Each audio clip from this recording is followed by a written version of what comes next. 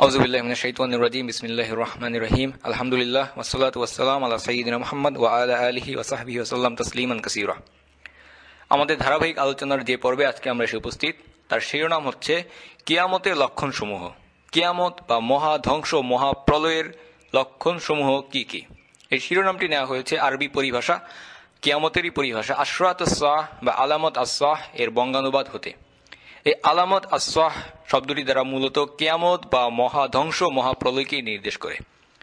এগুলোকে এভাবে বলা যায় যে আমরা ক্রমশই সেই চূড়ান্ত ধ্বংস কিয়ামতের দিকে এগিয়ে যাচ্ছি।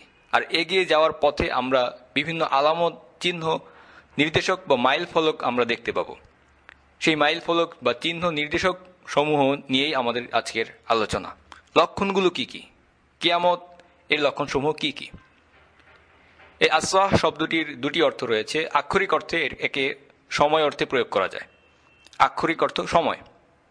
কিন্তু প্রায়োগিক অর্থ হচ্ছে কেয়ামত শুরু হওয়ার সময়। আসাহ শব্দের প্রায়োগিক অর্থ হচ্ছে কেয়ামত শুরু হওয়ার সময়। এই সময়টা আসলে কখন? কখন কিয়ামত বা মহা ধ্বংস শুরু হয়ে যাবে? তা একমাত্র আল্লাহ সুবাহতাল্লাহ ছাড়া আর কেউ জানে না। এমনকি এ বিষয়ে কোনো নবী বা ফেরেস্তাও অবগত নন। এটা হচ্ছে আল্লাহ সুবাহতাল্লাহর ইলমুল গাইবের অংশ, যা একমাত্র আল্লাহ সুবাহতাল্লাহ ছাড়া আর কেউ জানেন না, একমাত্র আল্লাহ জানেন কখন এই মহাধ্বংস মহাপ্রলয় কিয়ামত শুরু হয়ে যাবে। এজন্য একটি বিখ্যাত হাদিসে আমরা জানতে পারি, যখন জিব্রিল আলাহিসাল্লাম আকাশ থেকে নেমে এসে আল্লাহ রাসুল সাল্লাহ আলাইসাল্লামকে জিজ্ঞাসা করলেন, কিয়ামত কখন হবে? রাসুল্লাহ সাল্লাহ আলাইসাল্লাম উত্তর দিয়েছেন, যাকে প্রশ্ন করা হয়েছে সে প্রশ্নকর্তার চেয়ে ভালো জানে না। খেয়াল করে দেখুন, জিব্রাইল আলাহিসাল্লাম রাসুল্লাহ সাল্লাহ আলাইসাল্লামকে জিজ্ঞাসা করলেন যে কিয়ামতের সেই মহাধ্বংস শুরু হওয়ার সময়টা কখন? আর রাসুল্লাহ সাল্লাহ সাল্লাম উত্তরে বললেন, যাকে প্রশ্ন করা হয়েছে, সে ব্যক্তি প্রশ্নকর্তার চেয়ে ভালো জানে না। অর্থাৎ তিনি যা বলতে চেয়েছেন তা হচ্ছে, আমাদের দুজনের কারোরই এ বিষয়ে কোনো জ্ঞান নেই যে কখন কেয়ামত শুরু হয়ে যাবে। এটা একমাত্র আল্লাহ সুমতাল্লাহর ইলমুল গাইবে আছে। তবে রাসুল্লাহ সাল্লাহ সাল্লাম আমাদেরকে এর বেশ কিছু আলামত, লক্ষণসমূহ বলে গিয়েছেন। কিন্তু মূল ব্যাপার হচ্ছে, এ ধরনের আলামত বা লক্ষণের বর্ণনা অনেক হাদিসে রয়েছে। এর মধ্যে কোনোটা বেশ নির্ভরযোগ্য, সহি কিংবা হাসান হাদিস, কোনোটাই আছে দুর্বল হাদিস। কাজে এই নির্বাচনের কাজটুকু বেশ জটিল, যে বিশুদ্ধ হাদিসটুকু ছেঁকে নিয়ে আসতে হলে আমাদেরকে স্বাভাবিকভাবেই হাজার বই এবং হাদিস ঘাটতে হবে। এটি বেশ কঠিন এবং শ্রমসাধ্য একটি কাজ। তবে আলহামদুলিল্লাহ, যে বিখ্যাত তাফসিরকার ইবনে কাসির এবং অন্যান্য বিশেষজ্ঞ আলেম ইতিমধ্যেই কেয়ামতের আলামতসমূহের একটি তালিকা প্রণয়ন করে একাধিক বই লিখে ফেলেছেন। আমাদের ধারণা, আল্লাহ আলম, যে কেয়ামতের আলামত নিয়ে তারা রীতিমতো মাস্টার্স কিংবা পিএইচডি লেভেলের কাজ করেছেন। এই বিষয়ে যে বিশুদ্ধ হাদিসগুলো আছে, সেগুলোকে বলা হয় আসাহি মিন আশরাত আসাহ কিংবা আসাহি মিন আলামাত আসাহ শুধু এই বিশুদ্ধ হাদিসগুলো সংগ্রহ করে ইউসুফ নামের একজন বিশেষজ্ঞ একটি বই লিখেছেন এবং সেটাকেই আজকের আলোচনার মূল তথ্যসূত্র হিসেবে ব্যবহার করা হয়েছে। তিনি নির্ভরযোগ্য হাদিস গ্রন্থ থেকে এই হাদিসগুলো নিয়েছেন এবং পঞ্চাশটিরও বেশি আলামত তার তালিকায় অন্তর্ভুক্ত করেছেন। অন্যান্য অনেক বইতে এই সংখ্যা, এই আলামত সময়ের সংখ্যা প্রায় একশোতে পৌঁছে গেছে। তবে সেগুলোতে বেশ কিছু দুর্বল বা অগ্রহণযোগ্য হাদিস থাকার সম্ভাবনা রয়ে গেছে। তো এবার আমরা ইনশাল্লাহ তাল্লাহ আমাদের সেই আলামত সমূহর বর্ণনা করার আগে কিছু বিষয় পরিষ্কার করে নেওয়া যাক। এই আলামতগুলোর মধ্যে কিছু আলামত রয়েছে যেগুলো একেবারেই ইউনিক বা যে ঘটনাগুলো একবারই মাত্র ঘটতে পারে, মাত্র একবারই ঘটতে পারে এবং সেটা ঘটলে আপনি পরিষ্কার বুঝতে পারবেন যে সেই ঘটনাটা ঘটে গেছে। উদাহরণ হিসেবে আমরা বলতে পারি রাসুল্লাহ সাল্লাম বলেছেন যে হিজাজে একটি আগুন লাগবে, অগ্নিকাণ্ড। হিজাজে একটি আগুন লাগবে, যার আলো সামদেশ অর্থাৎ সিরিয়া পর্যন্ত পৌঁছাবে। এবং রাসুল্লাহ আসলাম বলেছেন যে রাতের বেলাতেও তুমি উটের ঘাড় পর্যন্ত দেখতে পাবে। তো এই ঘটনাটি, এটা আসলেই মানে একটা ইউনিক ঘটনা বা যা একবারই ঘটতে পারে, যা ঘটলে আপনি স্বাভাবিকভাবে জানতে পারবেন যে এই ঘটনাটি ঘটেছে কিনা বা কখন ঘটেছে। আবার বিপরীতভাবে বেশ কিছু আলামত রয়েছে যেগুলো একাধিকবার ঘটতে পারে। এমনকি বারবার ঘটতে পারে, কিংবা না ঘটলে মনে হবে যে হয়তো এটা ঘটে গেছে। যেমন এমন একটি আলামত হচ্ছে যে, অনেক গণহত্যা, রক্তপাত এবং খুনোখুনি হবে। এটা আল্লাহ রসুল্লাহাম কিয়ামতের লক্ষণ হিসেবে আমাদেরকে জানিয়ে গেছেন। তো এটা হচ্ছে এমন একটা আলামত যে, বর্তমানে উম্মার মধ্যে যেভাবে ব্যাপক হত্যাকাণ্ড, গণহত্যা চলছে, এগুলো দেখে আপনি বলতেই পারেন যে ওল্লাহি এটা তো ইতিমধ্যেই হয়ে গেছে। এই আলামতটা আমরা অতিক্রম করে ফেলেছি, অথবা আমরা অতিক্রম করছি। কিন্তু আপনি হয়তো জানেন না যে, ভবিষ্যতে হয়তো এর থেকেও মারাত্মক আকারে গণহত্যা, রক্তপাত, খুনোখুনি এগুলো শুরু হতে পারে।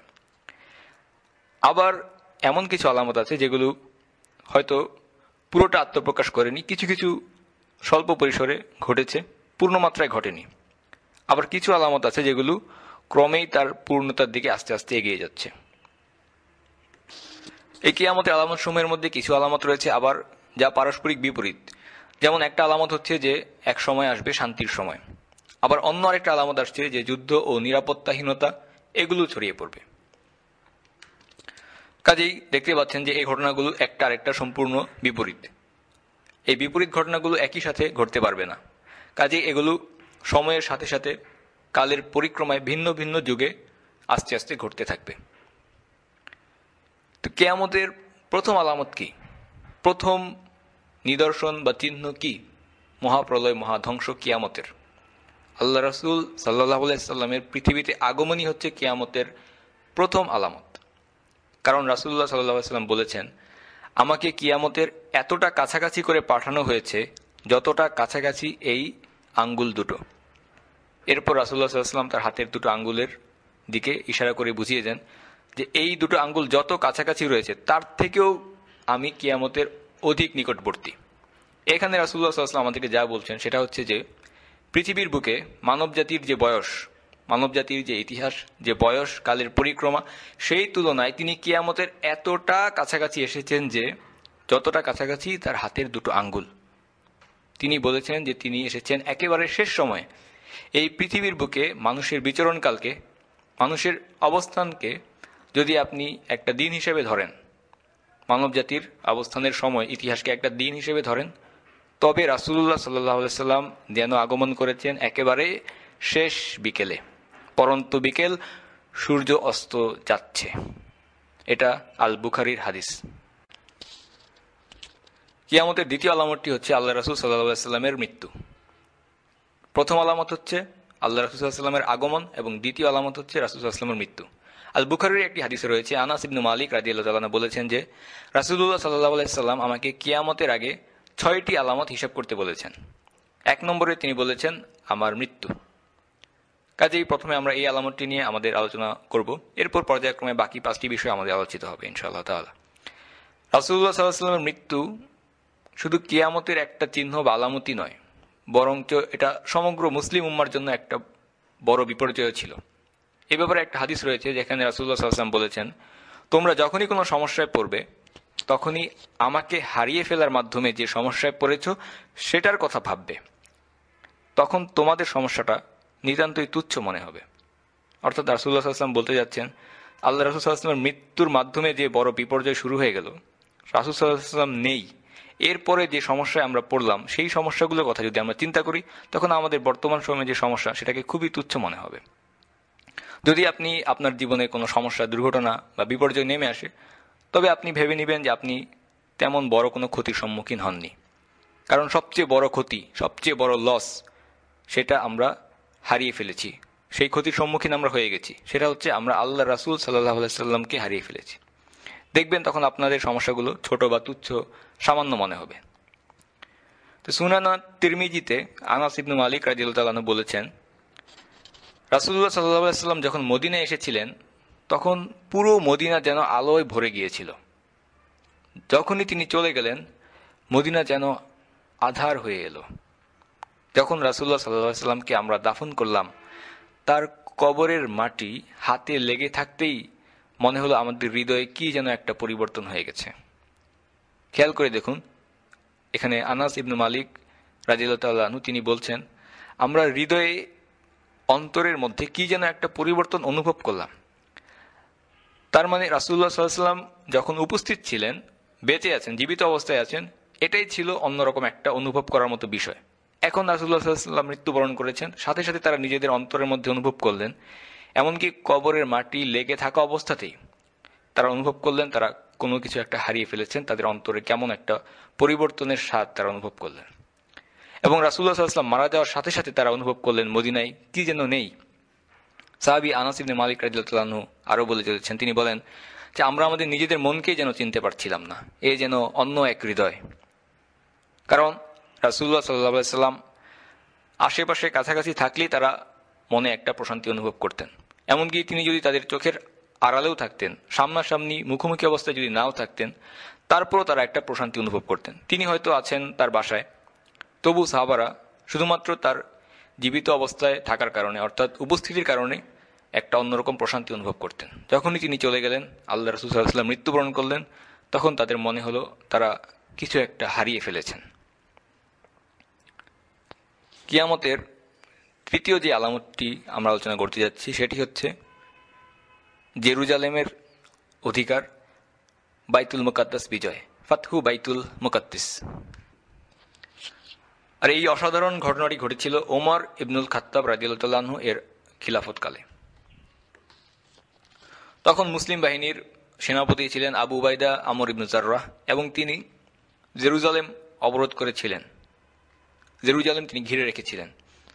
একসময় জেরুজালেম আত্মসমর্পণ করতে বাধ্য হলো, কারণ মুসলিম বাহিনীর সাথে তাদের যুদ্ধের কোনো সুযোগই ছিল না। এতটাই তারা চারদিক থেকে আক্রান্ত হয়ে গেল। এরপর তারা সেনাপতি আবু উবাইদাকে খবর পাঠালো যে ঠিক আছে, আমরা জেরুজালেমের চাবি হস্তান্তর করে আত্মসমর্পণ করতে রাজি আছি, তবে একটা শর্ত তারা জুড়ে দিল। তারা শর্ত দিয়ে দিল যে এই চাবি তারা মুসলিমদের সবচেয়ে সম্মানিত ব্যক্তিকে দিবে। অর্থাৎ এই চাবি তারা মুসলিমদের খলিফার হাতে হস্তান্তর করবে। তো এই খবর পরবর্তীতে ওমর ইবনুল খাত্তাব রাজিউল্লাহু ওনার কাছে চলে গেল। ওমর রাজিউল্লাহু সুরা ডাকলেন। তিনি সিদ্ধান্তহীনতায় ভুগছিলেন যে এখানে কি যাওয়া ঠিক হবে কিনা বা তিনি যাবেন কিনা। কারণ সেখানে হয়তো বিপদের সম্ভাবনা থাকতে পারে। তো কোনো কোনো সাহাবা বললেন যে, আপনি মদিনাতেই থাকুন, গেলে আপনার বিপদ হতে পারে। আবার কেউ কেউ বললেন যে, না, আপনি যান। ইনশাআল্লাহ তাল্লাহ আপনি নিরাপদেই থাকবেন। তো অমর ইবনুল খাত্তাব রাজিউল্লাহু শেষ পর্যন্ত সেখানে যাওয়ার সিদ্ধান্ত নিলেন। তো এই ঘটনা হয়তো আমরা অনেকে আগেও জেনে থাকব।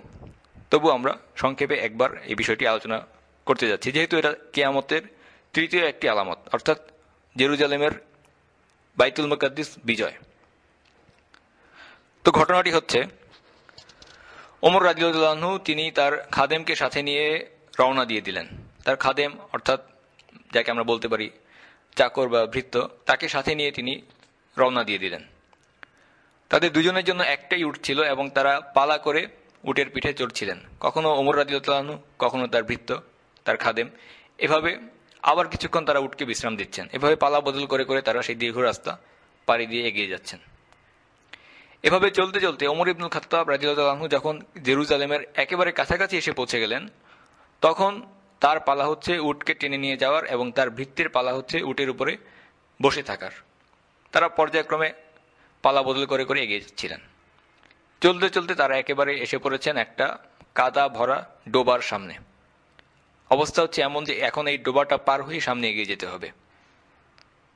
তাই ওমর রাজিউল্লাহনু তিনি প্রস্তুত হয়ে গেলেন যে তার জামার কাপড়টা একটু উঠিয়ে নিলেন এবং ডোবা অতিক্রম করা শুরু করলেন। যেহেতু তখন তারই পালা ছিল উঠ টেনে নিয়ে যাওয়ার। তো তিনি সেভাবে কাপড় উঠিয়ে নিয়ে ডোবা পার হওয়া শুরু করলেন। গায়ে ও কাপড়ে কাদা লেগে গেল। তিনি ডোবার মধ্য দিয়ে উট টেনে নিয়ে নিয়ে এগিয়ে যাচ্ছেন। আর চিন্তা করে দেখুন, এই সমস্ত ঘটনাটা জেরুজালেমের বাসিন্দারা তাদের চোখের সামনে দেখছে। মুসলিমদের সবচেয়ে সম্মানিত ব্যক্তি কাদা মাখা অবস্থায় তার চাকরকে উটের উপর বসিয়ে রেখে সেই উটের রশি টেনে নিয়ে নিয়ে এগিয়ে যাচ্ছে। আর এই দৃশ্যটা জেরুজালেমের বাসিন্দারা তাদের চোখের সামনে দেখছে। তো তারা চিন্তা করেছিল যে আমরা এই চাবি হস্তান্তর করব, অর্থাৎ জেরুজালেমের চাবি। এই বিষয়টা আমরা যখন দিয়ে দিব, আমরা মুসলিমদের সবচেয়ে সম্মানিত ব্যক্তিকেই দিব। তারা এই সিদ্ধান্ত নেওয়ার পরে সেনাপতি আবু উবাইদা ইনজাররা রাজিউল্লাহনু তিনি ওমর রাজিউল্লাহকে এই বিষয়টি জানিয়েছিলেন এবং যার কারণে তিনি আজকে সেখানে উপস্থিত। তো সেনাপতি আবু উবাইদা, যিনি ছিলেন আশরাতুল মুবাসারা বিল জান্নার একজন, অর্থাৎ জান্নাতের সুসংবাদপ্রাপ্ত দশজন সাহাবার একজন, তিনি ইহুদিদের বিষয়টা চিন্তা করলেন, তারা কি চিন্তা করছে? তিনি মনে করলেন যে এটা ঠিক হচ্ছে না। উল্লেখ্য যে আসলে তিনি এটা চিন্তা করেননি যে না, নেতৃস্থানীয় ব্যক্তি, তিনি সবসময় একটা ক্ষমতা, দাপট, অহংকার নিয়ে চলবেন। তিনি কখনো বিনয়ী হতে পারবেন না। না, তিনি এই বিষয়টা চিন্তা করেননি। কিন্তু তিনি চিন্তা করেছিলেন যে এই ইহুদি লোকগুলো, এরা বড় হয়েছে রোমান সংস্কৃতির ছায়ায় বেড়ে ওঠে। এরা সব সময় যা দেখে অভ্যস্ত, সেটা হচ্ছে রাজা, বাদশাহ, নেতৃস্থানীয় ব্যক্তি। এরা সব সময় চারপাশে প্রহরী নিয়ে চলে। একটা আলাদা ক্ষমতার ডাপট তারা দেখিয়ে চলে। নিজেদেরকে অন্যরকম ভাবে তারা উপস্থাপন করে থাকে। তারা এ ধরনের দৃশ্য দেখে একেবারে অভ্যস্ত নয়। তাই তিনি ভাবলেন যে ওমর ইবনুল খাত্তাব রাজিউল্লাহর এভাবে আসাটা বোধ হয়ে মানানসই হয়নি। কারণ জেরুজালেম বাসিন্দারা তাকে এই বেশে দেখে হয়তো যথার্থ সম্মান নাও দিতে পারে। যেখানে ওই সময়ে দুনিয়ার যে কোনো মানুষের চেয়ে সবচেয়ে বেশি সম্মানিত মানুষ হচ্ছেন ওমর ইবনুল খাত্তাব রাজিউল্লাহ তিনি মুসলিমদের খলিফা। তো এই ধারণাটি করে আবু উবাইদা বিনজাররা রাজিউল্লাহু তিনি আমিরুল মিনের কাছে গেলেন এবং এই ব্যাপারে কিছু পরামর্শ দেওয়া ভালো মনে করলেন। ওমর ইবনুল খাত্তাব রাজিউল্লাহু তার সেনাপতির পরামর্শ শুনে তার বুকে আঘাত করে বললেন, আমি তোমার কাছ থেকে এটা আশা করিনি। তিনি আরও বললেন, আমরা এমন এক জাতি, যারা ছিলাম নিতান্ত তুচ্ছ, নিচু জাত, আর আল্লাহ আমাদের মর্যাদা উঁচু করে দিয়েছেন ইসলামের মাধ্যমে। আর আজকে আমরা যদি অন্য কোনো উপায়ে সম্মান কামনা করি তবে আল্লাহ আমাদেরকে আবারও নিচু করে দেবেন। এর অর্থ ওমর রাজিউল্লাহু সম্মানের মানদণ্ড হিসেবে সেই ক্ষমতার দাপট, চারপাশে প্রহরী নিয়ে যাওয়া, এগুলোকে কখনোই বুঝেননি। তিনি বলেছেন, আল্লাহ আমাদের মর্যাদা উঁচু করে দিয়েছেন ইসলামের মাধ্যমে। আর আমরা যদি আজকে অন্য উপায়ে, ইসলাম ছাড়া অন্য কোনো উপায়ে সম্মান কামনা করি, তবে আল্লাহ আমাদেরকে আবার অপমানিত নিচু করে দেবেন। আমাদের সম্মান, আমাদের এই মোটর শোভাযাত্রা কিংবা চারপাশে দেহরক্ষী বাহিনী, এগুলোর মাঝে নেই। নেই আমাদের পোশাক আশাকে কিংবা বিলাসবহুল সিটে বসে সুরক্ষিত সফরে যাওয়ার মাধ্যমে। পোশাকই জৌলুস নয়, আমাদের সম্মান দেয় ইসলাম। তিনি আবু উবাইদাহ রাজিয়াল্লাহ তাল্লাহ্নকে এই শিক্ষা দিচ্ছিলেন এবং তখন তার গায়ে যে জামা পরা ছিল, তাতে ছিল চোদ্দটি তালি দেওয়া। মুসলিম খলিফা চোদ্দটি তালি দেওয়া পোশাকে পরে তার সেনাপতিকে শিক্ষা দিচ্ছেন। আল্লাহ আমাদেরকে সম্মান দিয়েছেন ইসলামের মাধ্যমে। ওমর রাজিউল্লাহ তাকে কথাই বলতে চেয়েছেন যে, মানুষ কি ভাবলো, তারা কি ভাবলো, না ভাবলো, সে কথা ভুলে যাও। কারণ তাদের প্রত্যাশিত বেশে আমরা নিজেদেরকে উপস্থাপন না করলেও আল্লাহ তাদের হৃদয়ে আমাদের মর্যাদার স্থান করে দেবেন। তিনি আবু উবাইদাকে একথাও পরিষ্কার বুঝিয়ে দিলেন যে বাইরের কোনো জৌলুসে সম্মান খোঁজার চেষ্টা করলে আল্লাহ আমাদের সম্মান ছিনিয়ে নেবেন। যদি আমরা ইসলাম ছাড়া অন্য কোনো কিছুর মাধ্যমে সম্মান খোঁজার চেষ্টা করি, আল্লাহ আমাদেরকে সেই সম্মান থেকে বঞ্চিত করবেন। কারণ আমাদের সম্মান ইসলামেই রয়েছে, অন্য কোথাও নয়। কেতা দুরস্ত, আনুষ্ঠানিকতা, এগুলো আমাদের দরকার নেই। আমরা সাদামাটা মানুষ, আল্লাহ আমাদেরকে দিনের মাধ্যমে আমাদেরকে প্রাপ্য সম্মান দেবেন। সুবান আল্লাহ ওমর ইবনুল খাত্তাব যথার্থ কথাই বলেছেন জেরুজালেমের ইহুদি লোকেরা যখন তাকে এই অবস্থায় দেখল, তারা আবেগে কান্নায় ভেঙে পড়ল। বলা হয়ে থাকে যে লোকে তাকে দেখার জন্য বাড়ির ছাদে উঠে দাঁড়িয়েছিল, কারণ তারা প্রবল, প্রতাপশালী, ক্ষমতাশীল ওমর ইবনুল খাত্তাবের নাম শুনেছে মাত্র, কখনো দেখেনি। তবে তারা যা আশা করেছিল তার বিপরীত চিত্র যখন সামনে দেখতে পেল, তারা আর নিজেদের আবেগ ধরে রাখতে পারেনি। তারা সিদ্ধান্ত নিয়েছিল, এই ব্যক্তির কাছে আমরা চাবি হস্তান্তর করব। সবচেয়ে ক্ষমতাশীল, প্রতাপশালী ব্যক্তি তার বিপরীত চিত্রটি দেখে তারা কান্নায় আবেগে ভেঙে পড়ল যে আজকে আমরা এমন একজন ব্যক্তির কাছে জেরুজালেমের চাবি হারাচ্ছি, জেরুজালেমের কর্তৃত্ব হারাচ্ছি। ইসলামের এই সাদামাটা নমুনা দেখে তারা নিজেদের চোখকে পর্যন্ত বিশ্বাস করতে পারল না, আবেগে কাঁদতে শুরু করল। শেষ পর্যন্ত তারা জেরুজালেমের চাবি আল খলিফা ওমর ইবনুল খাত্তাবকেই দিয়েছিল।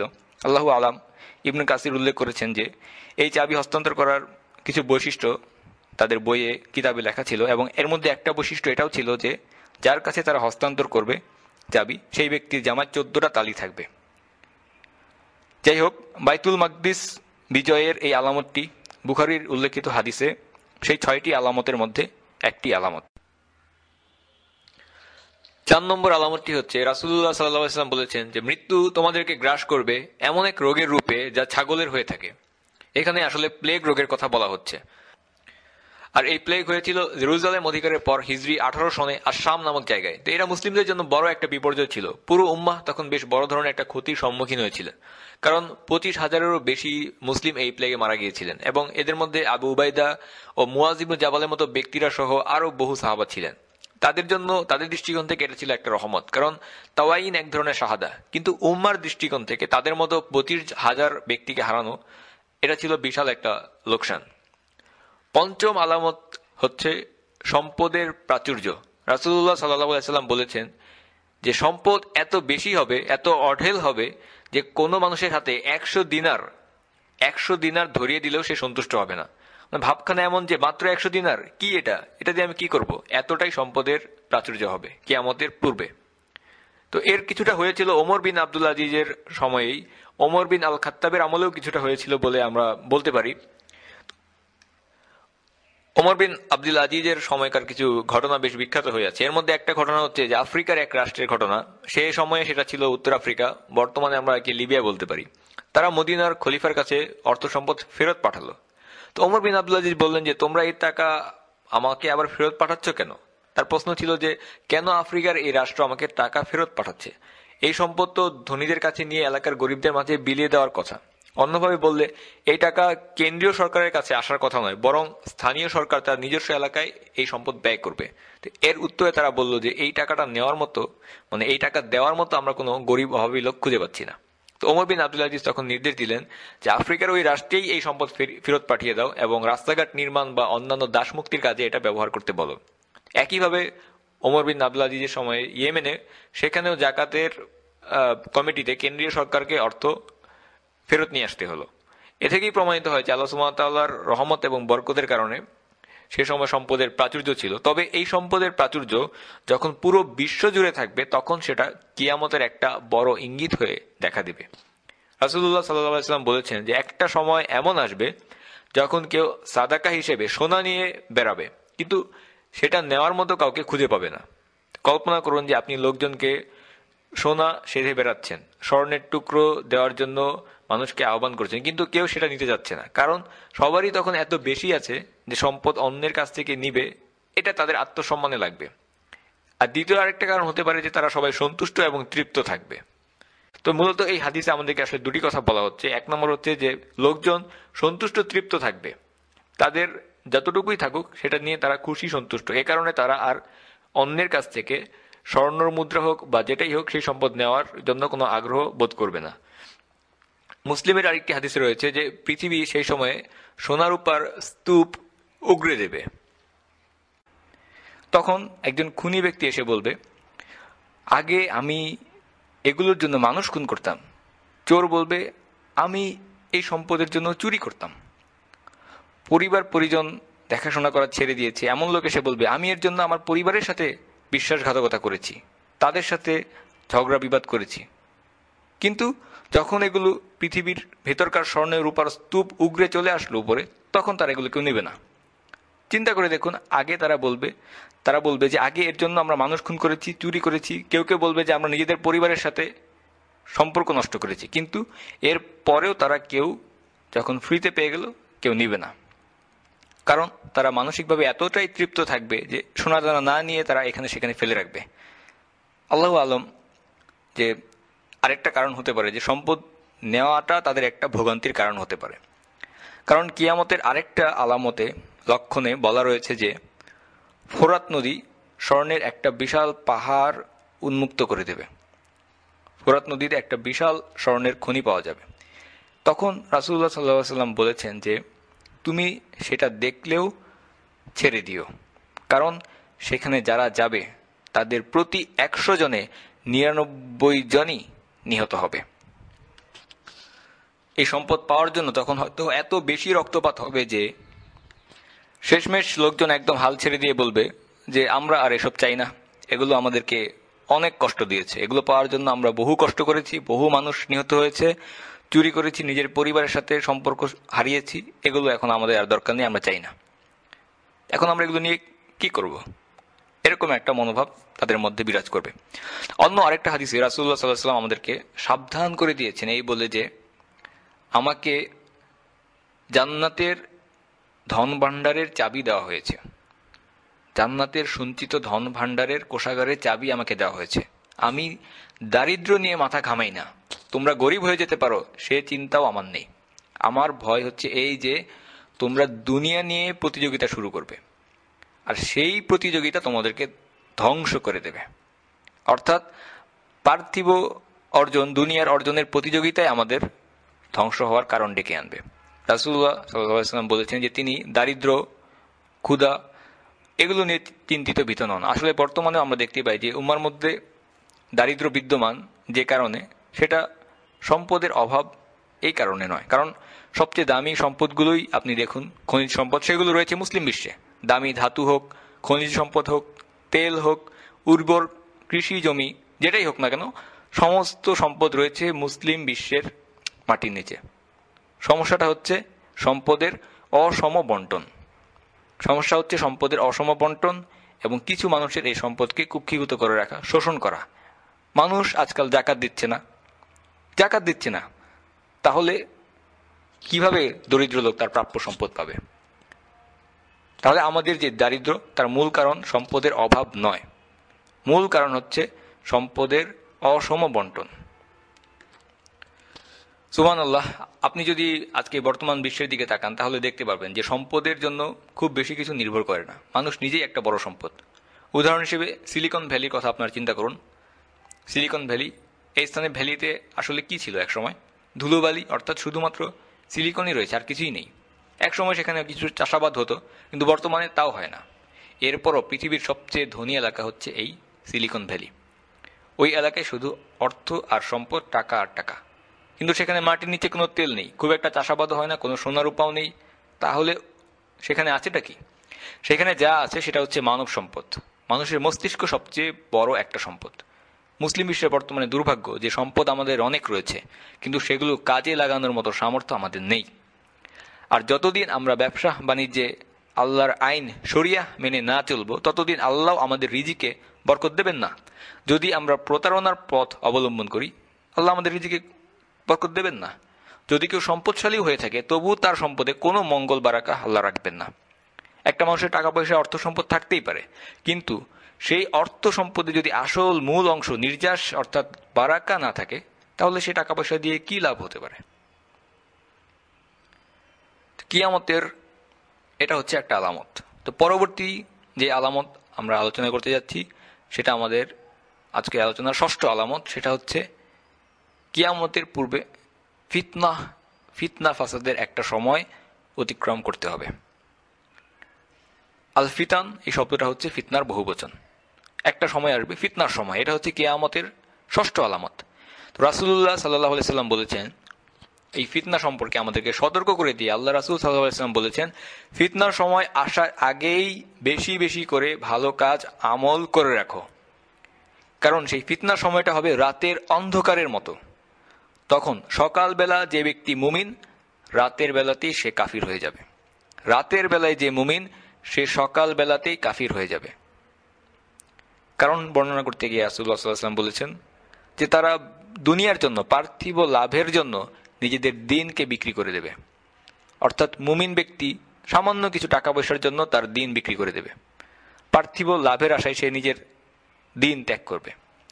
আল হাসান আল বাসরি এই হাদিসের ব্যাখ্যায় তিনি বলেছেন যে, ওয়াল্লাহি, আল্লাহর নামে বলছি, আমি এই লোকগুলোকে দেখেছি, যাদের দেহ আছে, আকৃতি আছে, কিন্তু হৃদয় বলতে কিছু নেই। শুধু দেহটাই আছে, কোনো চেতনা নেই। তারা দেয়ালি পোকার মতো, উই পোকার মতো আগুনে এসে আকৃষ্ট হয়। আবার মাছির মতো সবুজেও আকৃষ্ট হয়। এরা দুই দীর্হামের বিনিময়ে চলে যায়, আবার দুই দীর্হামের বিনিময়ে ফিরেও আসে। সামান্য একটা ছাগলের মূল্যেও বোধ হয় তারা তাদের দিনকে বিক্রি করে দেবে। তিনি আরও বলছেন যে তাদের আকৃতি বা দেহটাই রয়েছে, কিন্তু সেখানে কোনো হৃদয় বা চেতনা নেই। এবং তারা সামান্য মূল্যে, সামান্য স্বার্থের কারণে নিজেদের দিনকে বিসর্জন দেয়, বিক্রি করে দেয়। দুই টাকার বিনিময়ে, সামান্য সম্পদের বিনিময়ে তারা আজকে দিন ছেড়ে দিতে রাজি। আল্লাহ দিন ত্যাগ করতে রাজি। আবার দুই টাকা দিবেন, এর বিনিময়ে তারা ফিরে আসতে রাজি।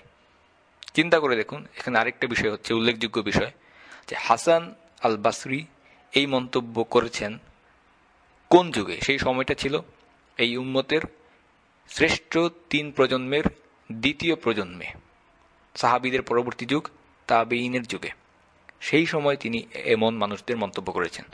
তাহলে আজকে আমি চিন্তা করে দেখুন, আমরা চিন্তা করে দেখি যে বর্তমান সময়ে বেঁচে থাকলে তিনি কি বলতেন?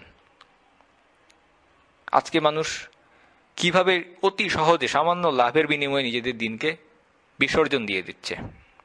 দুনিয়ার অর্থ সম্পদের জন্য তারা আল্লাহর দিনকে বিসর্জন দিয়ে দিচ্ছে। আরেকটা হাদিস রয়েছে যেখানে একটু অন্যরকম বর্ণনা রয়েছে। ইমাম আহমদ এই হাদিসটি বর্ণনা করেছেন। এর শুরুটা আগের হাদিসের মতোই, শুধু শেষে বলা হয়েছে, এই ফিতনার শুরুটা আগের হাদিসের মতোই। এর পরবর্তীতে বলা হয়েছে যে যে ব্যক্তি বসে থাকবে, এই ফিতনার সময় যে ব্যক্তি বসে থাকবে, সে দাঁড়িয়ে থাকা ব্যক্তির চেয়ে উত্তম। যে ব্যক্তি দাঁড়িয়ে থাকবে, সে হেঁটে যাওয়া ব্যক্তির চেয়ে উত্তম। যে ব্যক্তি হাঁটতে থাকবে, সে দৌড়ানো অবস্থায় থাকা ব্যক্তির চেয়ে উত্তম। কাজেই দরকার হলে তোমার হাড় হাড্ডি ভেঙে নিজেদের ঘরে বসে থাকো। আর যদি কেউ তোমাদের ঘরে ঢুকতে চায়, তবে আদমের দুই সন্তানের মধ্যে যে ভালো, তার মতো হয়ে যাও। রাসুল্লাহ সাল্লাম বলেছেন এই ফিতনার মাত্রা সম্পর্কে। আল্লাহ রসুল সাল্লাহ সাল্লাম বলছেন যে যে ব্যক্তি বসে থাকবে, সে দাঁড়িয়ে থাকা ব্যক্তির চেয়ে উত্তম। যে দাঁড়িয়ে থাকবে, সে হেঁটে যাওয়া ব্যক্তির চেয়ে উত্তম। যে হাঁটতে থাকবে, সে দৌড়ানো অবস্থায় থাকা ব্যক্তির চেয়ে উত্তম। এবং রাসুলাম বলছেন যে কাজই দরকার হলে তোমরা তোমাদের হাড় হাড্ডি ভেঙে নিজেদের ঘরে বসে থাকো। আর সেই সময় যদি জোর করে কেউ তোমাদের ঘরে ঢুকতে চায়, তবে তোমরা আদমের দুই সন্তানের মধ্যে যে উত্তম, তার মতো আচরণ করো। তো এর মানে কি? রাসুলাম আসলে কি বোঝাতে চেয়েছেন? এর মানে হচ্ছে আসলে এই যে, ওই সময় আমাদেরকে ফিতনা থেকে বেঁচে থাকতে হবে।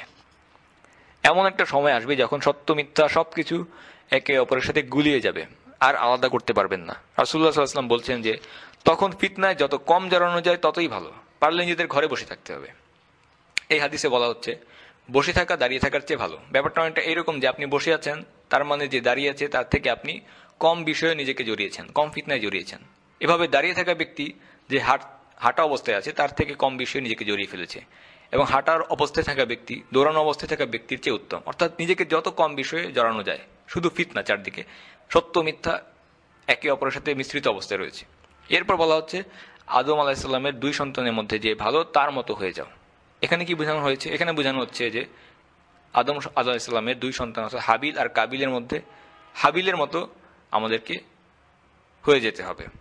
হাবিল যখন কাবিলের হাতে খুন হয়, তখন সে বলেছিল যে, তুমি আমাকে মেরে ফেলার জন্য হাত বাড়ালেও আমি তোমার সাথে লড়াই বাঁধাবো না। তবে এই হাদিসে ফিতনা থেকে দূরে থাকতে বলা হলেও এটা ভবিষ্যতের কোনো একটা নির্দিষ্ট সময়ের জন্য বলা হয়েছে। আপনি বর্তমান যুগে নিষ্ক্রিয় বসে থাকবেন, ঘরে বসে থাকবেন আর বলবেন যে, আমি হাদিস অনুসরণ করছি, সেটা এখানে বোঝানো হয়নি। এমন একটা সময়ের কথা বলা হচ্ছে যখন সব কিছুই থাকবে একেবারে অস্পষ্ট, সত্য, মিথ্যা, কিছুতেই আলাদা করা যাবে না। এই ফিতনাগুলো, অর্থাৎ ফিতনার বহুবচন, ফিতানের কথা বলতে গেলে বলতে হবে যে, কিছু ফিতান ইতিমধ্যেই উম্মার জীবনে ঘটে গেছে, আবার কিছু এখনও ঘটেনি। রাসুল্লাহ সাল্লাম একবার পূর্ব দিকে ইশারা করে বললেন, তার অবস্থান থেকে পূর্ব দিকে ইশারা করলে বললেন যে, ফিতনা, ফিতান এদিক থেকেই আসবে। তিনি তখন ছিলেন মদিনায়। কাজেই মদিনার পূর্ব দিককে তিনি ফিতানের উৎস হিসেবে চিহ্নিত করেছেন। এরপর তিনি বলেছেন যে, এদিকেই হচ্ছে শয়তানের বাড়ি। আমরা গভীরভাবে হাদিসকে বিশ্লেষণ করলে দেখতে পাই যে, বেশ কিছু বড় বড় ফিতনা এসেছে মদিনার পূর্ব দিক থেকে।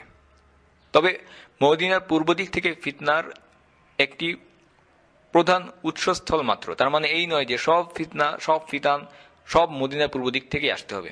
কারণ রাসুলাম এও বলেছেন যে তোমাদের সাথে রোমানদের যুদ্ধ হবে যুদ্ধ হবে বিশ্বের অন্যান্য এলাকায়ও। তবে সবচেয়ে বড় বড় কিছু ফিতনার শুরু হবে মদিনা পূর্ব দিক থেকে, যেগুলো উম্মাকে সবচেয়ে বেশি ঝামেলার মধ্যে ফেলেছে। উদাহরণ হিসেবে বলতে পারি আমরা যে অনেক রকম ফিরকা, এই ফিরকাগুলোর উৎপত্তি হয়েছে মদিনার পূর্ব দিক থেকে। এছাড়াও এটা ছিল মুসলিম উম্মার শুরুর দিকে রাজনৈতিক অস্থিরতার একটা মূল উৎসস্থল। আরও জানি আমরা পরবর্তীতে মুসলিম উম্মার ইতিহাসে যে মঙ্গোলীয় তাতাররা, তারা কি ধরনের ভয়াবহ ফিতনার জন্ম দিয়েছিল। এবং রাসুল আসলাম এও বলেছেন যে আদাজ্জাল এবং ইয়াজুজ, মাজুজ, এরাও আসবে পূর্ব দিক থেকে। তো এবারে আসুন আমাদের আলোচনা করা যাক এই ফিতনা সম্পর্কে। যে ফিতনাগুলোর বেশ বড় বড় কিছু ফিতনা আমরা ইতিমধ্যেই মুসলিম উম্মা অতিক্রম করে ফেলেছি। আদ্যতাইয়ের হাতে উসমান রাজিউল্লাহ এর হত্যাকাণ্ড। তৃতীয় খলিফা। খলিফার খুন হওয়া ছিল উম্মার জীবনে সর্বপ্রথম সংঘটিত ফিতনা। এবং এই ফিতনাটি অন্য সব কয়টা পরবর্তী ফিতনার দরজা খুলে দিয়েছে। আল বুখারিতে বর্ণিত একটা হাদিসে, ওমর রাজিউল্লাহ এবং হুজাইফা রাজিউল্লাহ তারা একটি সংলাপের উল্লেখ আছে বুখারিতে। সেখানে ঘটনাটা অনেকটা এরকম হচ্ছে যে ওমর রাজিউল্লাহ একটি আলোচনার মধ্যে ছিলেন, মিটিংয়ের মধ্যে ছিলেন। তিনি সেখানে উপস্থিত সকলের উদ্দেশ্যে একটা প্রশ্ন ছড়ে দিলেন তিনি জানতে চাইলেন যে তোমাদের মধ্যে কে ফিতনার হাদিসটি বর্ণনা করতে পারবে? তো হুজাইফা রাজিয়াল তাল্লাহ বললেন যে আমি বর্ণনা করতে পারব। এই বলে তিনি হাদিসটি বর্ণনা শুরু করলেন। ওমর রাজিয়াল তাল্লাহ আসলে যে প্রশ্ন করেছিলেন সেটা হচ্ছে যে না, তিনি সেই হাদিসটি শুনতে চাননি। তিনি সুনির্দিষ্ট একটি ঘটনার কথা সুনির্দিষ্ট একটি ফিতনার হাদিসের কথা শুনতে চেয়েছিলেন। তাই তিনি এবার ব্যাপারটা পরিষ্কার করার জন্য জিজ্ঞাসা করলেন যে, আমি তোমাদের কাছে সেই ফিতনার ব্যাপারে জিজ্ঞেস করছি যেটা হবে সাগরের ঢেউয়ের মতো প্রবল ফিতনা। অর্থাৎ একটার পর একটা আসতে থাকবে। হুজাইফা এবার জবাব দিলেন যে, এ বিষয়ে আপনার দুশ্চিন্তা করার কিছু নেই, কারণ সেই ফিতনা আর আমাদের মাঝে একটা দরজা রয়েছে, একটা প্রতিবন্ধকতা রয়েছে। তো এবার ওমর আদিউল্লাহ জিজ্ঞেস করলেন যে, সেই দরজার অবস্থা কি? দরজাটা কি খোলা নাকি বন্ধ? তো হুজাইফা রাজিউল্লাহ বললেন যে, দরজা বন্ধই আছে। তো ওমর আলিউল্লাহ বললেন, যদি দরজাটা একবার ভেঙে যায়, তাহলে এটা আর কখনোই বন্ধ করা যাবে না। তো পরবর্তীতে হুজাইফা যখন এই হাদিসের কিছু অংশ তাবিনদের কাছে বর্ণনা করেছিলেন, তখন তারা তাকে জিজ্ঞেস করলেন যে, ওমর কি জানতেন যে এই দরজাটা আসলে কাকে বোঝানো হয়েছে দরজা দিয়ে? দরজার উদাহরণ দিয়ে কাকে বোঝানো হয়েছে কি তিনি জানতেন? তো হুজাইফা রাদিয়াল্লাহু বললেন যে হ্যাঁ তিনি জানতেন, কারণ আমি তাকে বলেছিলাম যে আসলে সেই দরজায় কে ছিল। এই বলে হুজাইফা চলে গেলেন। তখন তারা কাউকে পাঠিয়ে দিয়ে জানতে চাইলো যে কে ছিল এই দরজা। হুজাইফা উত্তর দিলেন, ওমর ছিলেন সেই ফিতনার মধ্যবর্তী দরজা। তিনি সেই ফিতনাকে ঠেকিয়ে রেখেছিলেন। ওমর রাজিউল্লাহ ছিলেন উম্মাহ এবং ফিতনার উভয়ের মাঝামাঝি প্রতিবন্ধকতা হিসেবে সেই দরজা। তো ওমর রাজিউল্লাহর সময়ে আমরা দেখি, তখন উম্মায় শান্তি ছিল, নিরাপত্তা ছিল, একটা স্থিতিশীল অবস্থা বিরাজ করছিল। ওমরের মৃত্যুর পরে নানা রকম ঝামেলা শুরু হলো। কিন্তু যতদিন তিনি ছিলেন, ততদিন মুসলিম উম্মাহ একটি স্থিতিশীল, নিরাপদ অবস্থায় ছিল। তো আমরা যা বলছিলাম যে, ওমরের মৃত্যুর পরপরই সমস্যা এবং ফিতনাগুলো শুরু হয়ে গেল। এরপর খলিফা হলেন ওসমান বিন আফফান রাজিউল্লাহ ওসমান বিন আফফানও আততের হাতে খুন হলেন। ওমর এবং ওসমান দুজনেই গুপ্ত হত্যার শিকার। তবে পার্থক্য হচ্ছে যে, ওমরকে যে হত্যা করেছিল, সে ছিল একটা স্পষ্ট কাফের। কিন্তু ওসমানকে যারা হত্যা করেছিল, তারা ছিল মুসলিম নামধারী লোক। আর এ কারণে এই মৃত্যুর মধ্য দিয়ে উম্মার মধ্যে, নিজেদের মধ্যে একটা বিভক্তি এবং দলাদলির দরজা খুলে গেল। কারণ উমরকে যে হত্যা করেছে, সে তো ইসলামের পরিষ্কার শত্রু, কাফের। কিন্তু ওসমানের ক্ষেত্রে এটা মুসলিম, মুসলিমদের নিজেদের মধ্যে একটা সমস্যা। উসমানের খিলাফতের সময় বেশ কিছু অঞ্চলে সমস্যা দেখা গিয়েছিল এবং এই সমস্যা সৃষ্টিকারী ফিতনাবাজ লোকেরা হজের মৌসুমে মদিনায় এসে তার মুসলিমদের বাড়ি ঘেরাও করল এবং ওসমান রাজিউল্লাহকে পদত্যাগের দাবি জানালো। তারা তাকে বলল যে, আপনি খিলাফতের দায়িত্ব থেকে নেমে যান। খিলাফতের দায়িত্ব থেকে আপনি নেমে যান। ওসমান রাজিয়াল্লাহ তিনি তখন স্মরণ করলেন যে রাসুল্লাহ সাল্লাহ সাল্লাম তাকে এ ব্যাপারে আগেই কি বলে গিয়েছিলেন?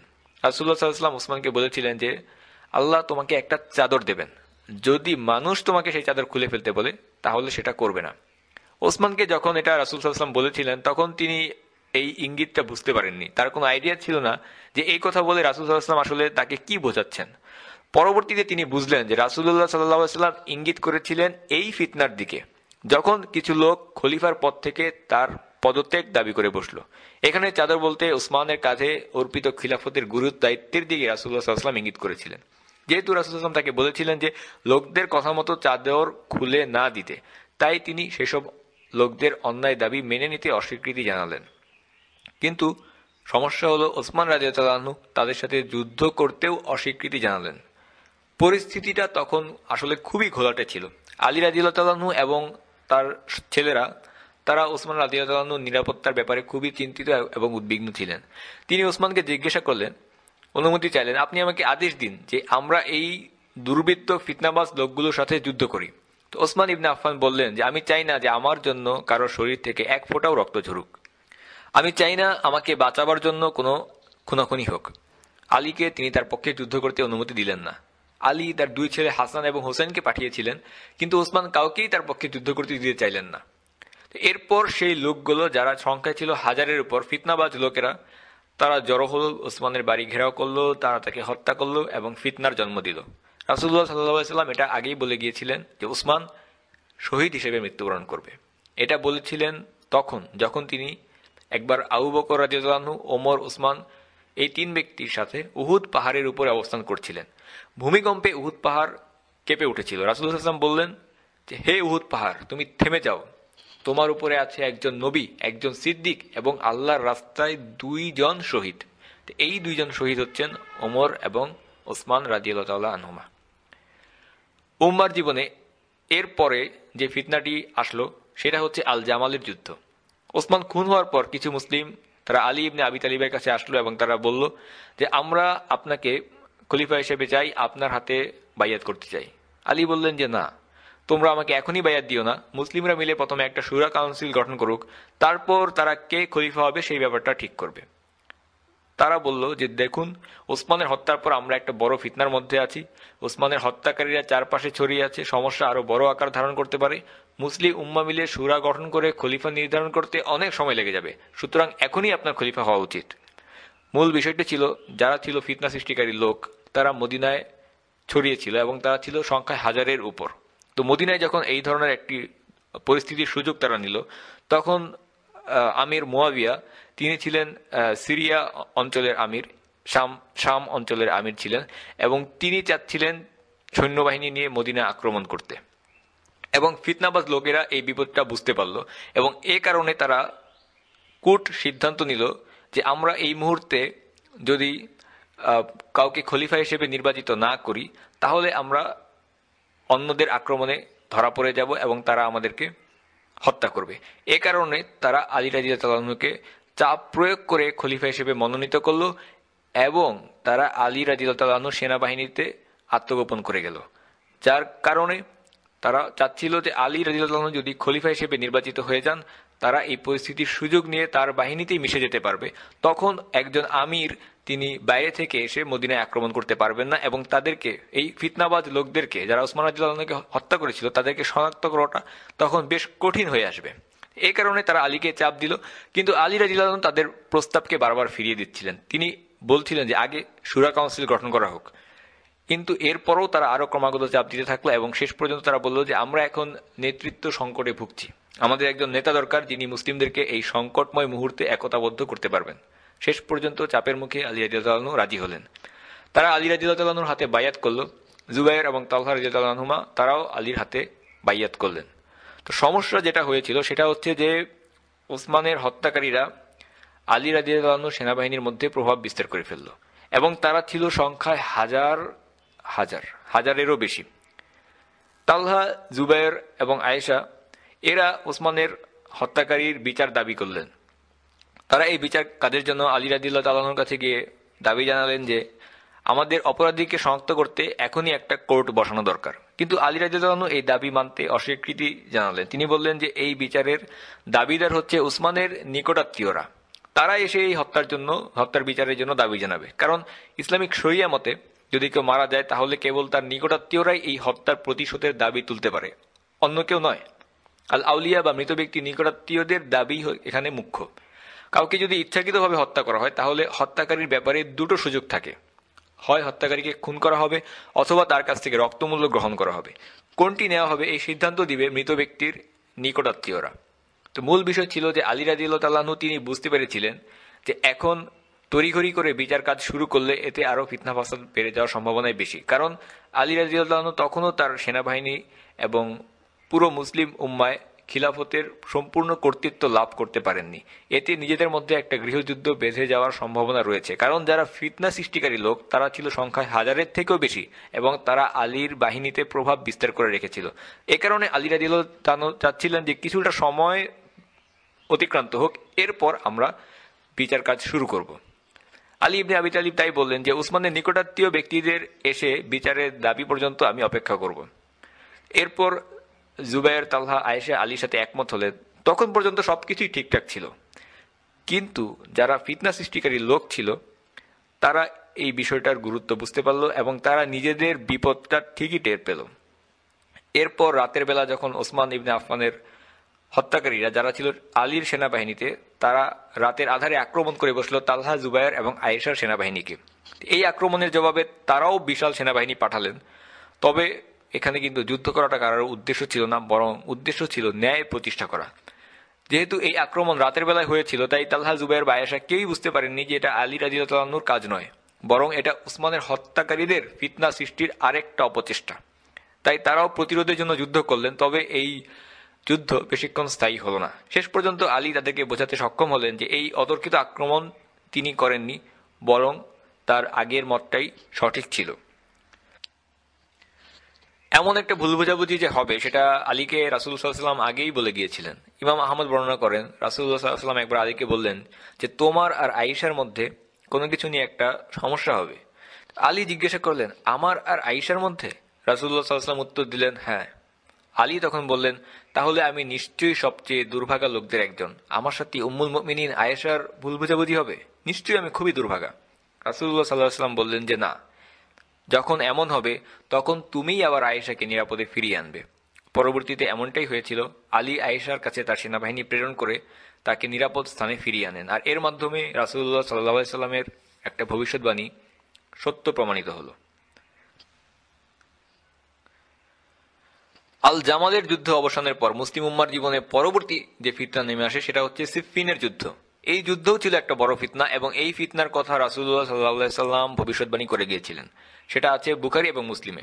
রাসুল্লাহ সাল্লাহ সাল্লাম বলেছেন, মুসলিমদের দুটি বড় বড় দল যুদ্ধে লিপ্ত হবে। দুই দলই একই উদ্দেশ্যে যুদ্ধ করবে। এখানেই হচ্ছে বৈপরীত্য। সাধারণত এমন হয় যে দুটো দল যখন যুদ্ধ করে, তখন তারা ভিন্ন ভিন্ন স্বার্থের জন্য যুদ্ধ করে। কিন্তু এখানে দুই দলের স্বার্থ এক ও অভিন্ন। এরপরও তারা যুদ্ধ করছে। আগেই বলা হয়েছে যে উসমানের হত্যাকারীরা ছিল আলীর সেনাবাহিনীর লোক এবং তারা সংখ্যায় একজন বা দুইজন নয়, সংখ্যায় ছিল অনেক হাজারের উপরে। আত্মীয়তা সম্পর্কের কারণে মুয়াবিয়া ছিলেন উসমানের ওয়ালি বা অভিভাবক। তাই একমাত্র তারই অধিকার ছিল ওসমান হত্যার বিচারের দাবি জানানোর। তিনি আলীকে বললেন যে, যারা আমার ভাইকে হত্যা করেছে, তাদেরকে আমার হাতে তুলে দাও। তোমার যদি কর্তৃত্ব প্রতিষ্ঠা না হয়ে থাকে, তুমি যদি নিজেকে দুর্বল মনে করো, যারা হত্যা করেছে তাদেরকে আমার হাতে তুলে দাও। আমি তাদের বিচার করব। আলী রাজিয়াতনা বললেন, আমি সেটা করব, কিন্তু তার আগে আমার কর্তৃত্ব স্থাপন করা বেশি জরুরি। তারা সংখ্যায় অনেক।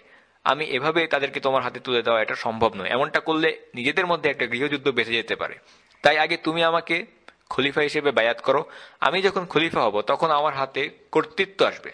এরপর আমি তাদের বিরুদ্ধে ব্যবস্থা নেব। কিন্তু এখন এটা করা সম্ভব নয়, কারণ এখন আমার হাতে ক্ষমতা নেই। যেহেতু তুমি এখনও আমাকে বায়াত দাওনি। মুয়াবিয়া বললেন যে, না, আমি তোমার কাছে বায়াত করব না। যতক্ষণ না তুমি আমার হাতে সেই হত্যাকারীদেরকে হস্তান্তর করবে। তো মুয়াবিয়া চাচ্ছিলেন উসমানের রক্তের বদলা নেওয়া হোক এবং আলীও তাই করতে চাচ্ছিলেন। কিন্তু তাদের মধ্যে মতানৈক্য ছিল এটা নিয়ে যে মুয়াবিয়া চেয়েছিলেন আগে হত্যাকারীদের বিচার, এরপর খলিফা নির্বাচন, আর আলী চাচ্ছিলেন উল্টোটা।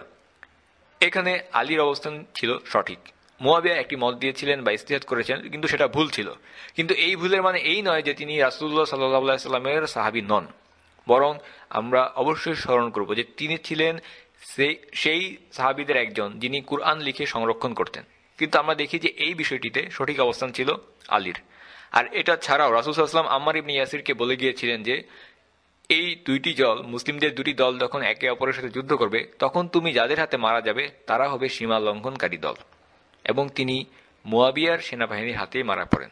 কিন্তু আমরা মুয়াবিয়াকে এই কারণে কাফির বলতে পারি না। কারণ রাসুল আসলাম বলেছেন যে, মুসলিমদের দুটো দল যুদ্ধে লিপ্ত হবে। তাই পরস্পর যুদ্ধ করলেও উভয় দলই ছিল মুসলিম। এবং এই হাদিসটি রয়েছে বুখারি এবং মুসলিমে। সিফিনের যুদ্ধের পর আরও একটি ফিতলা, ফিতনা চলে আসলো এবং সেটা হচ্ছে আল খাওয়ারিজদের ফিতনা।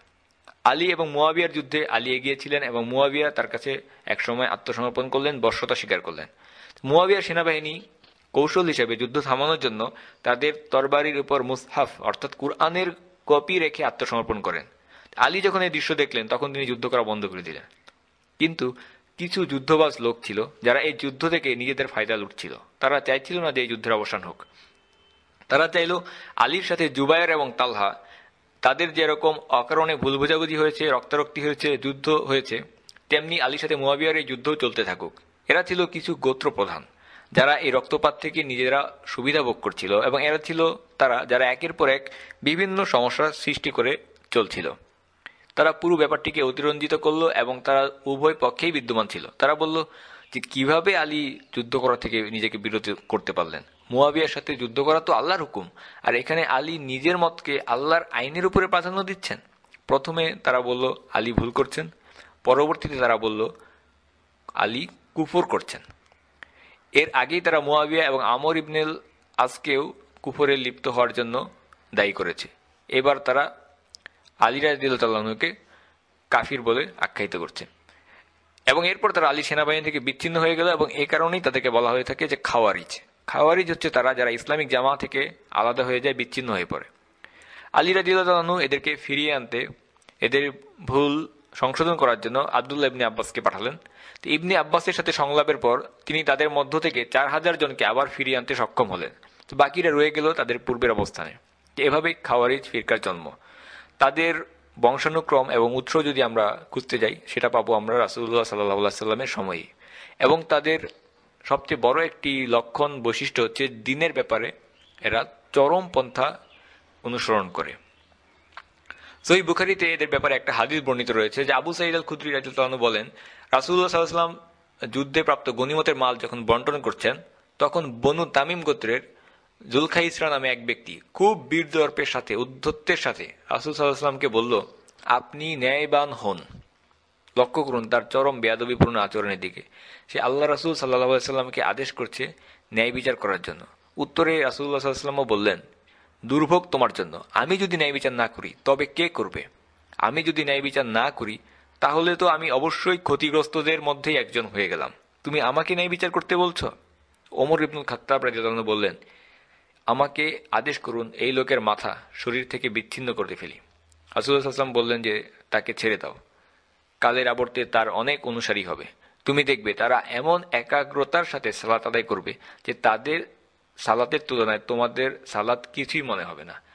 তাদের সাওমের তুলনায় তোমাদের সাওমের কোনো তুলনাই হবে না। অর্থাৎ এই লোকগুলো ইবাদতের একনিষ্ঠতার কারণে বাইরে থেকে তাদেরকে দেখলে এতটাই ধর্মপরায়ণ এবং তাকুয়া সম্পূর্ণ মনে হবে যে তাদের তুলনায় সাহাবাদের আমল কিছুই নয়।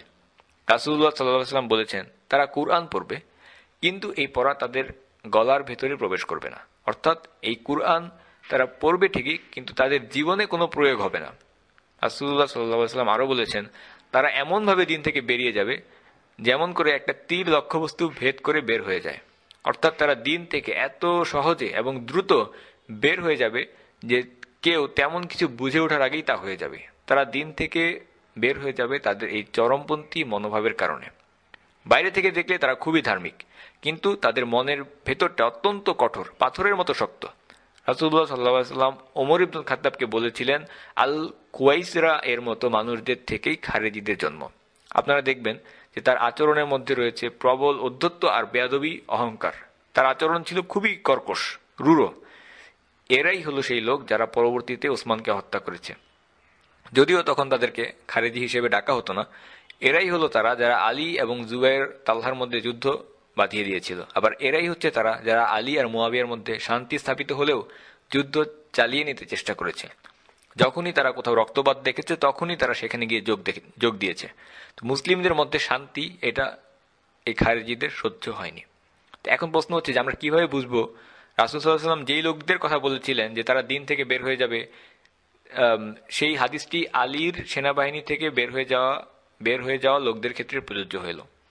রাসুল সাল্লাম হাদিসের এই ব্যাপারে একটি ইঙ্গিত দিয়েছিলেন, বুখারিতে বর্ণিত যে আবু সাইদ আল কুদ্রি বলেন রাসুল্লাহ সাল্লাহ সাল্লাম খাওয়ারিজের মধ্যে এক ব্যক্তির বর্ণনা করেন, সে হবে কালো বর্ণের, তার একটা হাত থাকবে দেখতে মহিলাদের স্তনের মতো। এর মানে হচ্ছে যে তার হাতে যেন কোনো হার থাকবে না, একটু ফোলা প্রকৃতির থাকবে, তাই সেটাকে মহিলাদের স্তনের মতো দেখাবে। আবু সাইদ বললেন, আমি আলীর পক্ষে, খাওয়ারিজদের বিপক্ষে যুদ্ধে অংশগ্রহণ করেছিলাম। আলী খারেজিদের কাছে গিয়ে তাদেরকে বোঝানোর চেষ্টা করলেন যে তারা ভুল করছে, কিন্তু তারা তাকে মেনে নিতে অস্বীকৃতি জানালো। তারা বলল, আলী, তুমি আল্লাহর আদেশের অবাধ্য হয়েছ। আলী কথা না বাড়িয়ে বললেন যে, আমি তোমাদেরকে তিনটা প্রস্তাব দিচ্ছি। প্রথমত, আমি তোমাদের মসজিদে সালাত আদায় করতে বাধা দেব না। তোমরা আমাদের সাথেই সালাত আদায় করতে পারবে। দুই নম্বর, আমি তোমাদেরকে যুদ্ধে গণিমতের মালের একটা অংশও দিব। তিন নম্বর, তোমরা যদি মুসলিমদেরকে ছেড়ে দাও, তাহলে আমিও তোমাদেরকে ছেড়ে দেবো, তোমরা নিরাপদে থাকবে। আলী ক্ষমাশীলতার এরকম একটা নিদর্শন দেখানোর পরেও খারেজিরা তাদের কথা রাখেনি।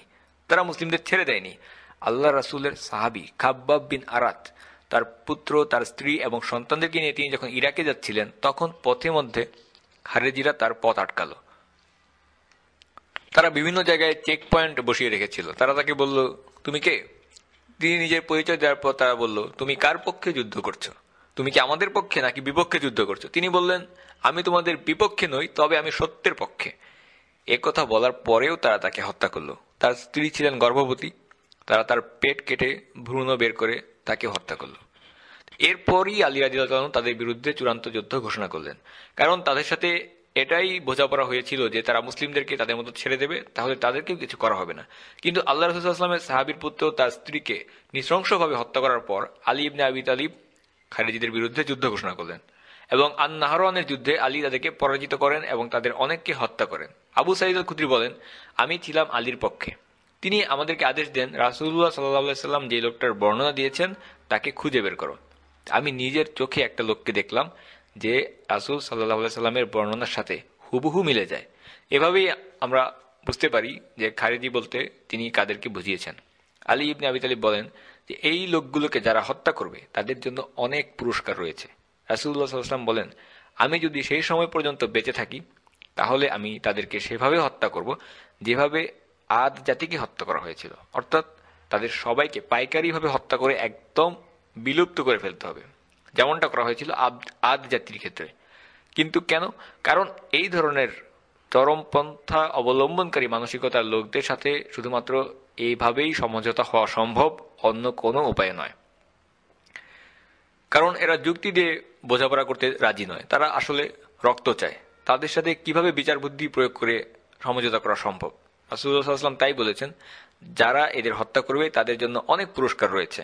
কারণ তাদেরকে ছেড়ে দেওয়া হলেও তারা কখনোই মুসলিমদেরকে ছেড়ে দেবে না। তাই তাদেরকে হত্যা করা ছাড়া আর কোনো উপায় তাদেরকে থামানো সম্ভব নয়। আল খাওয়ারিদ ছিল মুসলিমদের জীবনের সবচেয়ে বড় ফিতনাগুলোর একটি। তো সুবান আল্লাহ এখানে আমরা একটা অসঙ্গতিপূর্ণ ব্যাপার দেখতে পাই এদের মধ্যে। তো মুহাদ্দিসরা বলেন যে, আমরা কখনো কোনো খারেজিকে দেখিনি মিথ্যা কথা বলতে। রাসুসাল্লাম সম্পর্কে মিথ্যা বলেছে, হাদিস জাল করেছে, এগুলো খারেজিদের মধ্যে কেউ করেনি। অথচ আহলে সুন্নার অনেকেই হাদিস জাল করেছে। কিন্তু খারেজিরা কখনো এগুলো করেনি। তাদের মধ্যে আন্তরিকতা, ইখলাস, সত্যবাদিতা এগুলো ছিল।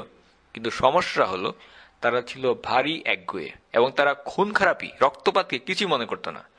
আর খাওয়ারিজদের এই ফিতনা যে শুধু রাসুল্লাহ আসলামের যুগে ছিল তা নয়। আল্লাহ রাসুল ভবিষ্যৎবাণী করেছেন যে তাদের ফিতনা যুগে যুগে আসবে।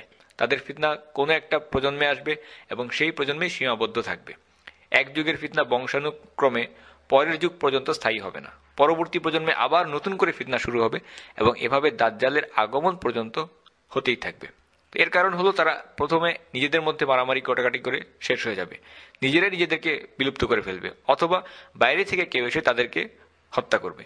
কিন্তু তাদের যে চরমপন্থা মানসিকতা, তা ভিন্ন স্থান কাল পাত্রের মানুষের মধ্যে বারবার জন্ম নিবে এবং নতুনভাবে এই ফিতনা আরম্ভ হবে। আর তারা যখন এইরকম যুদ্ধ বাঁধিয়ে দেবে, রক্তপাত ঘটাবে যতক্ষণ না তাদেরকে ধ্বংস করা হবে, তারা এগুলো করতেই থাকবে।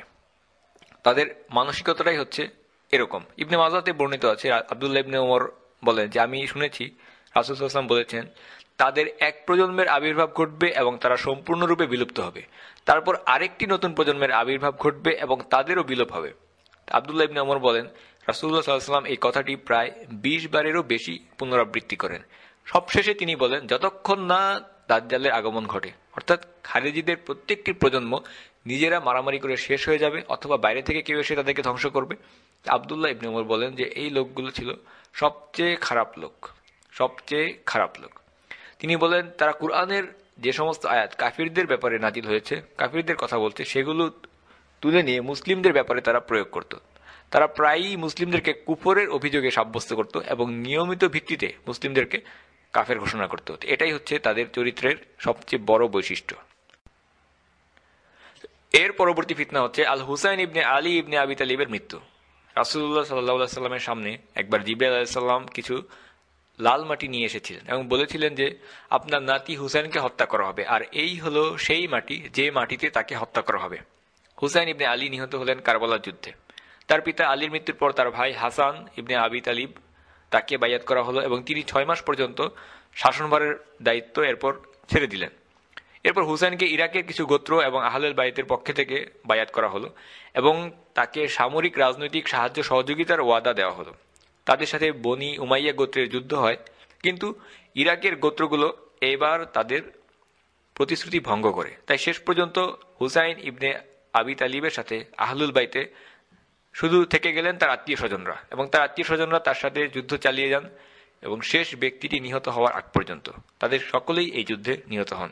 আল্লাহ রসুল সাল্লাহ ইসলামের পরিবার রক্তাক্ত হয়। মুসলিমদের ইতিহাসে এটি একটি কালো অধ্যায় যে মুসলিম উম্মার হাত রাসুল্লাহ সাল্লাহ সাল্লামের পরিবারের রক্তে লাল হয়েছে। এই ঘটনা ঘটেছিল ইয়াজিদ ইবনে মুয়াবিয়ার সময়ে। ইয়াজিদ পরবর্তীতে আরও একবার মদিনায় এরকম হত্যাযজ্ঞ চালায় এবং সেটাকে বলা হয় থাকে মারিফাতুল হাররা। সেখানে তিনি মদিনা আক্রমণ করেছিলেন এবং দিনের পর দিন রক্তপাত ঘটেছিল সংগঠিত করেছেন।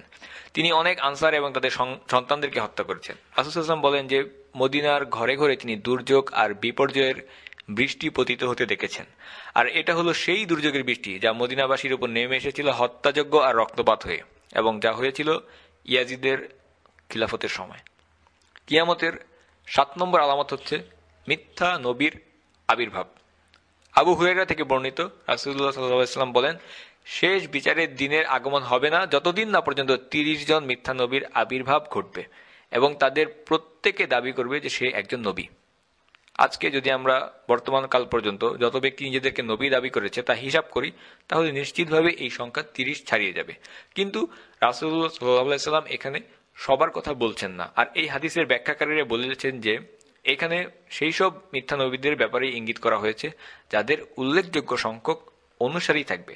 তারা বিখ্যাত হবে এবং অনেকের কাছে পরিচিতও পাবে। বর্তমানে আমরা দেখি যে অমুক তমুক ব্যক্তি মানে বোধ শক্তিহীন পাগল ব্যক্তি, এরা নিজেদেরকে নবী বলে, নবী দাবি করে বসে আছে। তো এই হাদিসটি তাদের কথা বলছে না। এখানে বলা হচ্ছে তাদের কথা, যাদের উল্লেখযোগ্য সংখ্যক অনুসারী থাকবে এবং তারা একটা ফিরকা বা দল তৈরি করবে। মুসলিমদের মাঝে দুইজন ছিল যারা রাসুল্লাহ সাল্লাহ সাল্লাম জীবিত থাকা অবস্থাতেই নিজেদেরকে নবী বলে দাবি করেছে। একজন হচ্ছে ইয়ামামার বনু হানিফা গোত্রের মুসাইলামা আল কাজ্জাব এবং ইয়েমেনের সানআর আল আসওয়াদ আল আনসি মিথ্যা নবুয়াতের দাবিদারদের মধ্যে এরাই ছিল প্রথম, আর এদের উদ্ভব রাসুল্লাহ সাল্লাহ সাল্লামের জীবনের শেষের দিকে। মুসাইলাম আল কাজ্জাব ছিল বনু হানিফা গোত্রের বেদুহীন এবং সেটা অনেক বড় একটা গোত্র ছিল, তারা আরবের ইয়ামামা অঞ্চলে বাস করত। তো সেই লোকদেরকে গোত্রবাদের উপরে, জাতীয়তাবাদের উপরে উত্তেজিত করত। সে বলে বেড়াতো যে রাসুল্লাহ সাল্লাহ সাল্লাম হচ্ছেন কুরাইশ বংশের, আর আমি বনু হানিফা বংশের। তারা থাকে শহরে শহরে এলাকার লোক, শহরবাসী, আর আমরা হচ্ছি গ্রামের।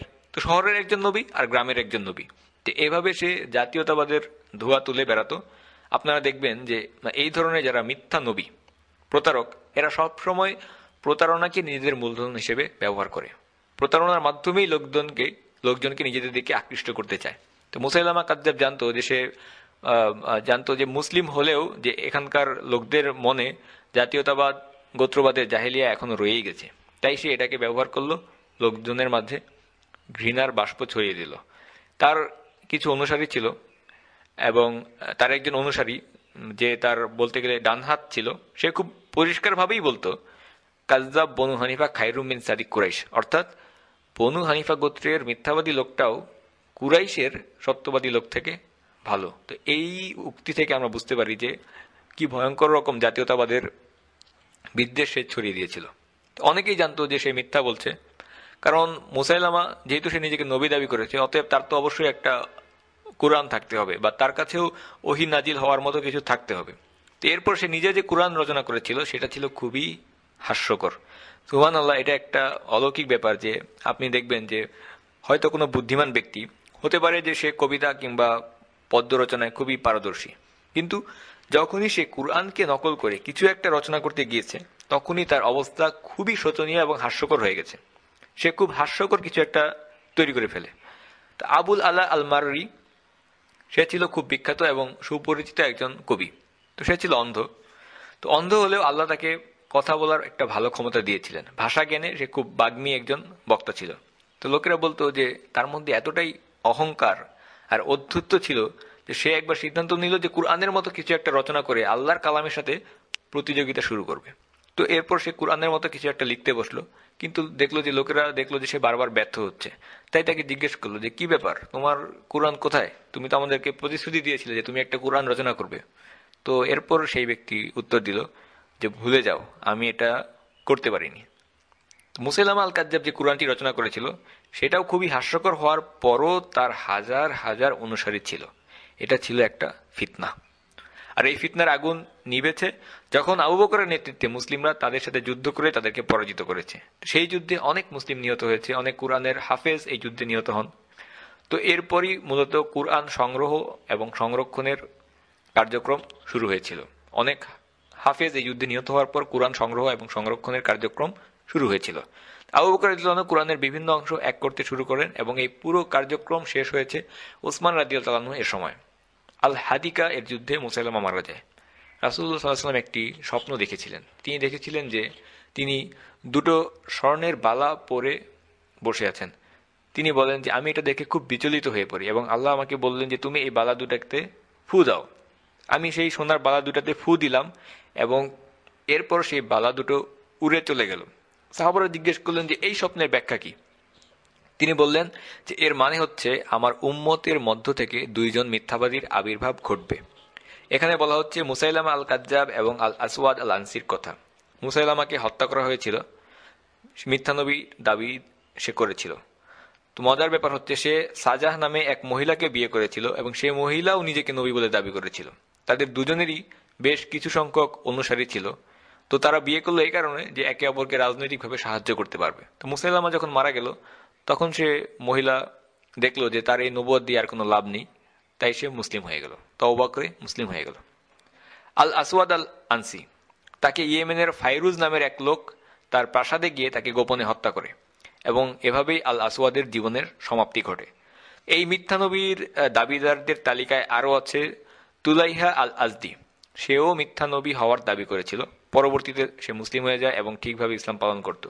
আল্লাহ আলম যে মুসাইলামা কিংবা তুলাইহা, এদের মধ্যে একজন ছিল যাকে কুরআনের কোনো আয়াত জিজ্ঞাসা করা হলে সে শুধু সেই সব আয়াত বেশি করে উদ্ধৃত করত যে সমস্ত আয়াতে খাওয়ার দাওয়ার কথা বেশি বলা হয়েছে। তো লোকেরা অবাক জিজ্ঞেস করতো যে, কি ব্যাপার? ফেরেস্তারা কি তোমাদের হৃদয়ে নাজিল হয় নাকি তোমাদের পেটে নাজিল হয়? আমরা তো বুঝতে পারছি না। এরকম আরও আছে যে মুক্তার আল উবায়দ আজ সাকাফি নামক এক ব্যক্তি, সেও এদের মতোই একজন।